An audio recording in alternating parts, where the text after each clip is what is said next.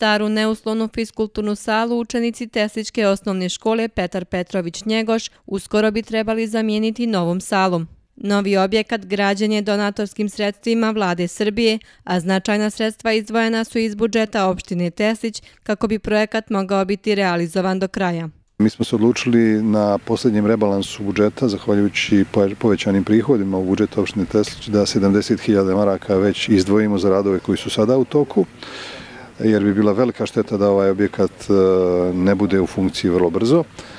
A, I također smo dogovorili da kroz nacrt budžeta za sljedeću godinu ide dodatnih 50.000 maraka, dakle ukupan iznos od 120.000 e, da bi ova sala bila spremna za upotrebu. E, naš je zadatak i cilj da i druge projekte ovog tipa pomognemo iz lokalnih, lokalnog budžeta, iako treba napomenuti da opremanje i izgradnja školskih objekata nije u ingerenciji lokalne zajednice.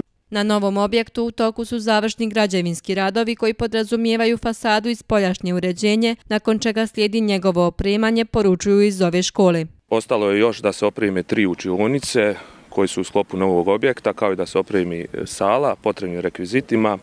Škola je poslala e, zahtjev Ministarstvu prosvete i kulture Republike Srpske i nadamo se da će oni izaći u susret, e, shvatajući važnost ovog cijelog objekta. Izvođač radova je Tesičko preduzeće Graditelj, iz koga poručuju da bi do kraja godine trebao biti završen cijelokupan građevinski dio radova. Pa radovi su u dva dijela. Prvi dio koji je finansirala iz Republika Srbija, to je odrađeno davno i ovaj dio opština u završnoj fazi e, fasada i tribinski nosači i mislimo da će to do nove godine biti završeno. Ovom prilikom načelnik Teslića uputio je zahvalnost vladi Srbije za donaciju u iznosu od 300.000 evra za izgradnju pomenute sale, kao i za raniju donaciju od 50.000 evra za nabavku novog sanitetskog vozila za Teslički dom zdravlja.